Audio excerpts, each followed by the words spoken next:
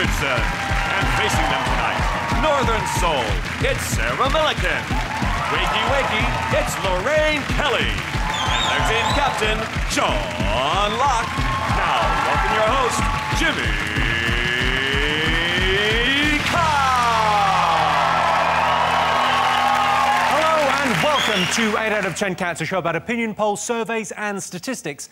Did you know, for example, 25% of men think their eyes are their best feature? Let me think. Buns, guns, pecs, nads, little Jimmy Johnson, eyes. Sixth best. The world's oldest goldfish was 42. He put his long life down to regular early morning swims. and the average life expectancy in the UK is 80 years. Does not include Scotland. Terms and conditions apply. right, let's get started.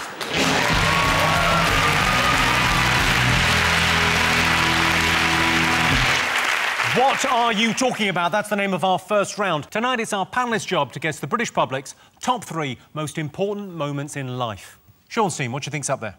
Uh, what, what do you think? Loose women. is it is it falling in love? Well, yeah. Go on, when did you first fall in love? Uh, maybe 21. You see, I thought there was the one because I'd read too many, you know, that kind of books and seen that, that kind of film where there's just one and that's it, and it's rubbish. If you're, you know, watching at home and people in the audience, there's five. There's not one. I've seen one a lot of those every... films and read a lot of those books. one for every decade. You have one for... So I've done my 20s, I've got a nice one in my 30s, and then he'll have to go soon because I'm 36. He's lovely, it's a shame. Um, 40s, 50s, 60s, and then after that you just have like no strings attached sex with whoever's in the same home. You're such a romantic, aren't you? I am. And Lorraine, when did you first fall in love? Oh, probably about 16. 16? Yeah, Brian Kennedy. I can't tell you any more than that, but it was lovely. It was Why can't really you tell good. us any more? Because because Is he dead? I don't want him back. No, he's not dead. but I think first love is really important, and you can really not underestimate it because it's it's really exciting and because it's all new and you've never been there before and I cannot it's fabulous. Are you it. remembering it all? Sean, you never really talk about your softer side and being in love, and mm. I think I speak on behalf of everyone. I'd like to just I'd like to see a bit of the real you. Yes. When did you fall in love, Sean? Well, I always find that the confusing thing about falling in love is the symptoms of falling in love are sort of lightheadedness, giddiness, are very similar to the symptoms of carbon monoxide poisoning. I'm not sure whether I'm in love or the flu's blocked. so I can't. I don't know if you're the one or we need to change flats. We need to have a word with the landlord. Jon, have you ever been in love? The first two people I fell in love with. Two? Hedge your bets. Different occasions, both ended with their partners telling me to stop phoning their home. the first one was a clown uh, who I fell in love with when I was about eight. He opened a shopping centre near me, and I was transfixed. This guy could juggle, he could do magic, he had poems how, old was the clown and how old were you? Clown must have been in his late 20s, early 30s. I'm maybe nine or ten.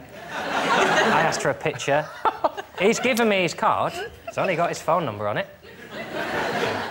He obviously wants me to call. I left a few messages. Uh, and one day when I phoned up, his wife picked up that bitch. This sounds like an implausible story that the clown told the police. Like, no, he was calling me. I like the idea of you phoning up and going, what are you wearing? I got the big shoes on. It wasn't a sexual thing, it was just the love between a child and a clown. when did you first fall in love with a woman? Uh, in Torquay, on holiday. Took her to see Men in Black. Uh, rained on the way out, give my coat, did the whole thing. Little pity kiss at the end of the week, which I'll be honest, I may have misread. Started phoning. Uh, she's not picking up the phone either, little minx. So what I did bought one of those school exercise books, and across every line of every page, I wrote "I love" and then her name. Uh, if I made a mistake, tore the page out, and then uh, posted it to her. As Not creepy, glad that's not creepy. symbol of commitment and grammatical accuracy. well, let's have a look and see whether first love is one of the most important moments in life. Most men say that when they fall in love, they can't tell if it's the real thing. I can. I have a special little indicator that sticks up. OK, John Sting, what's the other most important moment in life? People do babies, don't they?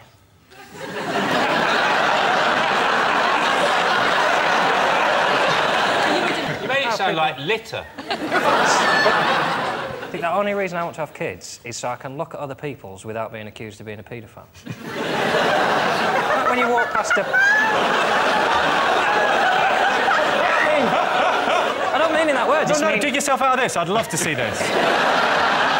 He's got a shovel. He's on. The, He's on. The, on your marks, Jon, and dig your way out of that one. Sometimes you're walking past a playground. Sure. Sure. You've start, he's even. He's going deeper before he even starts the dig. Sometimes you're walking past a playground and you just want to be able to watch the abandon of children. It's, it's like watching nature. It's like when you watch the leaves change in autumn. Sometimes you want to watch a kid on a swing and think, oh, I used to be on swings before I had jobs and before people judged me and before I wasn't allowed to be in a park. And then before, before you know it, you've been there half an hour and someone says, oh, which one's yours? You go, I'll go then. Fine. I'm not. It's a nice, and sometimes a You should baby say, will look what you at should you. say is, I haven't chosen yet.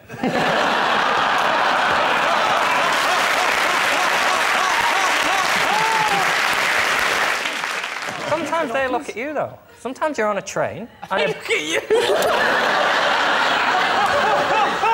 weirdo, yeah? You're the weirdos for making it weird, weirdos.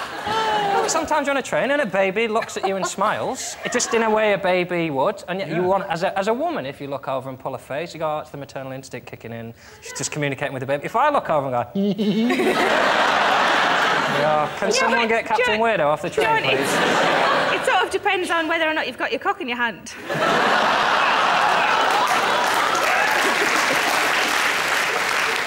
Dr. Christian, Yeah, um, anyway. is there anything that we can do to get Jon chemically castrated? you haven't got kids. Absolutely no desire to have children whatsoever. Yeah, you can't. They just linger too long, and They you do, can't have a they life. do linger, don't they? Yeah. They go on living is another way to say They go yeah, on. They linger. I mean, if they lasted five years, it'd be perfect, but no. I never wanted kids, really. I just wanted one of those big American fridges. You know, the really, really big ones. I thought it'd be ridiculous. I get one of those. It's just me and my partner there, and like a lasagna and a lemon rolling around in it. I thought I'd better have some kids, fill it out with yoghurt. Well, I didn't think that I was very maternal until I had my baby. Isn't that a bit late, though? Yeah. really, a big that's gamble, kind that, of isn't fine, But isn't then it? it was fine. No, honestly, you know, we Yeah, were- but what if it wasn't? You can't put it back in, can you? You can't, can you? No, you can't. But see if you do have every drug under the sun. Don't if somebody comes at you Not with whilst you're heroin- pregnant, I no, should No, no, no. But in labour, in labour, have everything. You know these folks that lie on bean bags and they have candles. No. No, no, no, no, no, no, no. You want to be numb as God intended. You want to be numb from the waist down, knowing nothing about it until they give you a beautiful baby. That's conception or I- birth. well, honestly, don't have everything. Have everything. I've never heard anything more Scottish than that. Take all the drugs that you can. Seriously, all of them. Get all of them. It's brilliant. It's like you only had the baby for the high. No, but it is really, honestly, I recommend It's it. expensive, though. No, it's on It's very your expensive. Well, they've, they've worked out. It doesn't cost you anything. It's on the National Health Service. No, no, he's saying having baby- children, I mean, not... raising Oh, children. ba- oh, Not the drugs. Yeah, no, no. I know a gay that can get it for a favour. Yeah, to raise the child is something that the average they they have through its lifetime is two hundred thousand pounds, and that's not factoring in daddy's drinking, daddy's gambling. It's all worthwhile when they turn 13 and tell you that they hate you and wish you were dead. But then they'll look after I've you. fast when- tracked that. They'll look after you when you're old. What? When you're old, they'll look after you. All the money that you've paid out, they'll have to. I'm going to use the money I saved to look after me. Although Although I don't have kids because tragically my girlfriend and I can't have children the way we do it.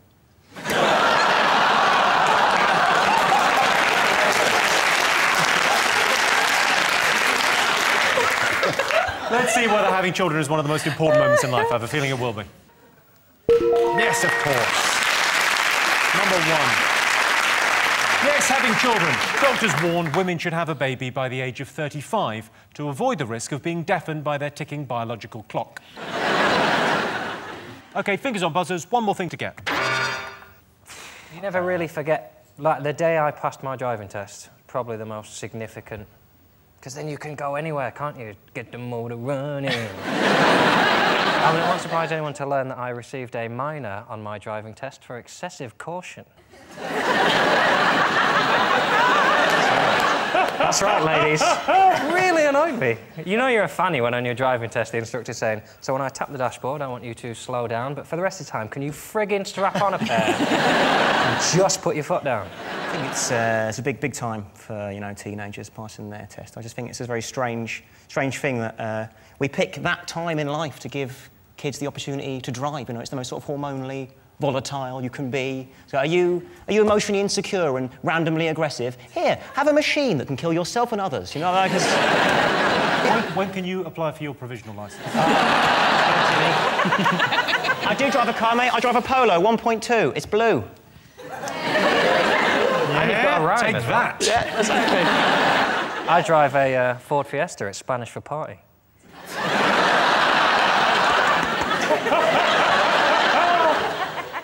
Completely left out. Do you drive? I've never passed my driving test. Ah. I took it once and failed it so appallingly badly. I said I'm never ever going to drive again, and I haven't. I respect you for that. I think if you fail your test three times, you should be banned for at least 10 years. Uh. People think they have a right to drive, and they're like, well, I'll get there in the end. Well, you're clearly shit at this. you have to be told to stop now. Like, I failed six times, but then I passed on the seventh. Well, you're probably still shit. Do you drive, Sarah? Yeah, I passed second time. Apparently, all the, the safest drivers are those who passed the second time. But I drove into oncoming traffic in my first one. but I didn't on the second one. but they don't teach you everything that you really need to learn to drive in the, in the, in the lessons, do they? They don't teach you, like, how to balance all your snacks on the passenger seat. Open the crisps when you're at the services because it's difficult to open them when you're driving along. Yeah, but I can't open a bottle between my thighs. She can. Really impressive if it's one of those gross bottles. Shame my house here for that. I think there should be different levels of test as well. I think there should be a test that you can drive without the radio on, and then there should be another test where you could drive looking at a text, making a phone call, chatting to your friends, and then there should be a high level test where you're so good you can have a few drinks. okay, learning to drive. Let's have a look and see whether it's one of the most important moments in life. Yes, learning to drive.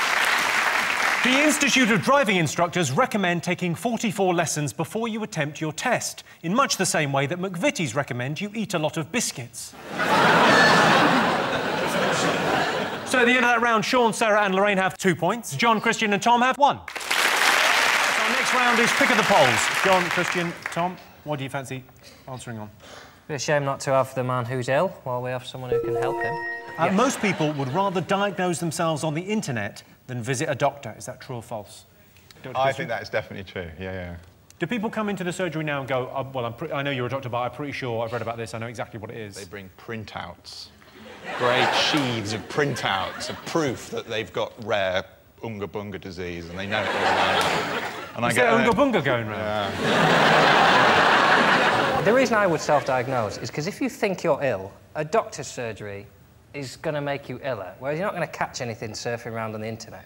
So like, I, I still don't understand why doctor's surgeries are As the way they are. they In the way we've evolved, there's still a room where you go, get all the sick people in a small room and leave them there for hours and nothing to do but cough and phleg all over everyone. Yeah, but they've got a yachting magazine for you to protect yourself.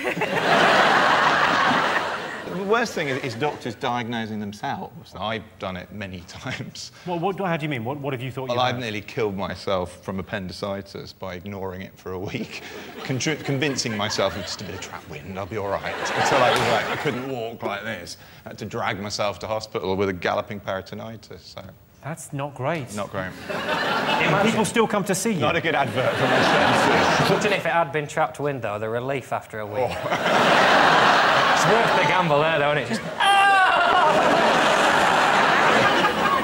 Tom, have you ever have you ever looked anything up on the internet when you when you've had a you know I don't I know you've just gone through puberty and stuff. So you- have you looked things some up? strange things happen to my body. I, I'd definitely self-diagnose if I had the choice, because it would scare me if I did come to you, sir, Oh, come and. I had something exciting. You just stick it on the telly for everyone to look at. Do you now do you now see a, you now meet patients and you look at it and you go, ooh, do you want to be on telly? that is that is that is amazing.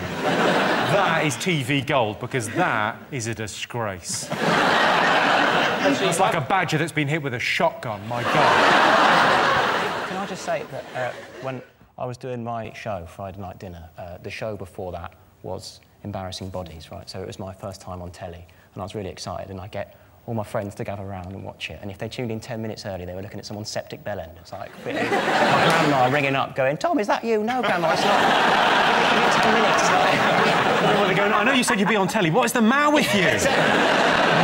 And I've kind of been blessed as well with the guests today because uh, Lorraine Kelly as well. Don't know whether you know this at all, um, but we kind of lived in the same village for like 16 years. Uh, Do you know my parents? You know Chrissy and Jim Rosenthal? Do you know them at all? Uh-huh. Yeah, they're my mum and dad. Are you the wee boy? Oh, that's so Yeah. sweet. So like, Oh, we I had thought you were cheese and wine tiny. party. but when I look at you now, you do look like your daddy. Is that? Oh, I've got a story as well. Um, my mum told me this.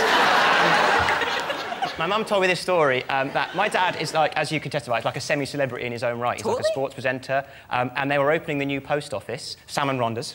Salmon rounders, Um, absolutely.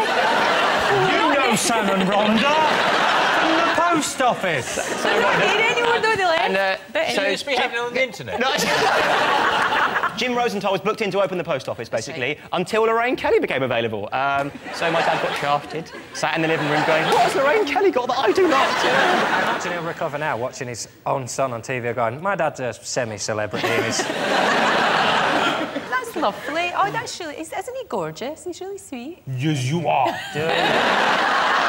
Who's a pretty boy? Yes, you are. Okay, so most people would rather diagnose themselves on the internet than visit a doctor. I like to um, ask a few people. If you get like best of five, you know, if three people think you should go to the doctors out of five, then you go to the doctors and you, you just lob it out, get a few people to have a look. Lob it out. Yeah. And then, See, you know. yeah, show a few people first. Because you must get annoyed with people going to the doctors that have got nothing as well. You must get annoyed by people just turning up and going, have a look at this. Do you think people turn up and just show up? Have you got the feeling that anyone's just shown up and gone, have a look at this? yeah. That is a corker, isn't it? I mean, you don't see many like that, do you? That is perfect. You want to take a picture? It happened to a colleague of mine. I was, she had to do an examination on a chap when she was a student and um, thought you had to examine the willy when it was hard, not floppy. So it was sort of best said to this man. I don't know who told her this. I think someone had wound her Whoever up did as a should get a special prize. I just have to examine you here. Not really. But basically did just that. What? Had to give it. I just have to wake him up. And it was an elderly gentleman who was examining. Who couldn't believe his luck? Except that it took an awful long time to get there. I think another one of us students possibly had told her that this was the way you examine it. And And did she, um...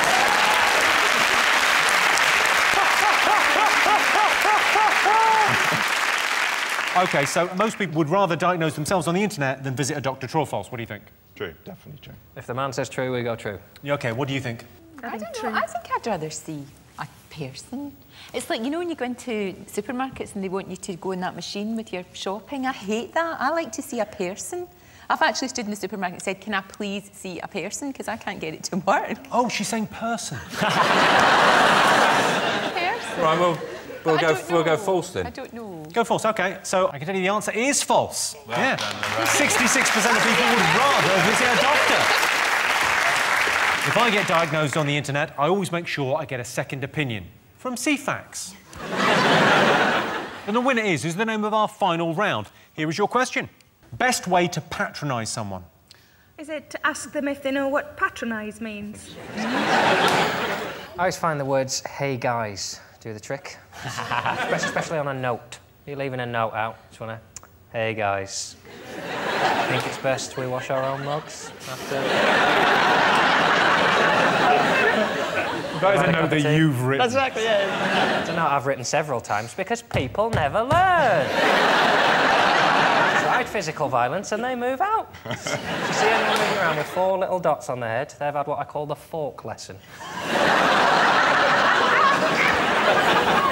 Best way to patronise someone, what do you think? Because people often think doctors are a little bit patronising.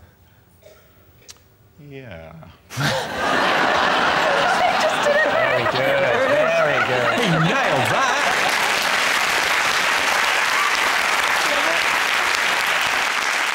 You know, in restaurants, they're sommeliers, and they're, they are, they, it's, part of their job is to be patronising. Going, well, I think I can recommend probably you might choose or be in your price bracket. Um, this, this wine, sir. And whenever they do that, I always do the same thing. After they've, they've said, I recommend this wine, I go, thank you very much. And then I go, go on, run along. Can I ask what a sommelier is? Because they don't have them in Nando's.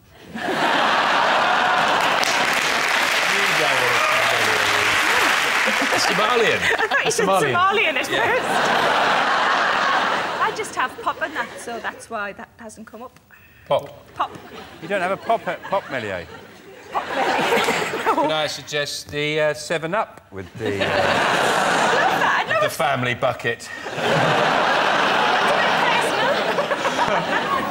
OK, so best way to patronise someone. I'll give you a clue. It suggests they're stupid. Talk slowly to them. Talk slowly is second. It implies you know more than they do. I know more than you. No, it's much, it's much more on the nose Right, rude. okay. Go fuck yourself, a-hole. yeah. I will, uh, I will tell you. The best way to patronise someone is to say, you wouldn't understand. Ah, okay. When you patronise someone, you talk down to them nicely, whereas condescension can be quite rude. You got that, fuckwits? well, that sound tells me it's the end of the round and the end of the show, which means the final scores are two points for Sean's team two points for Jon's team. Everyone's a winner. Thanks to all our panellists, our wonderful studio audience, and to all of you for watching at home. If you want more, tune in to 8 out of 10 Cats Uncut on Saturday. That's it from us. Good night.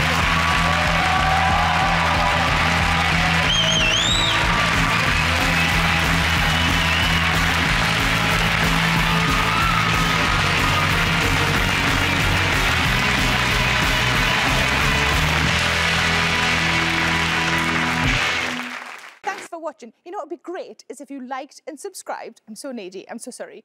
Uh, and why not come and see me live? And the tickets are available at sarahmillican.co.uk. Put the kettle on and settle in.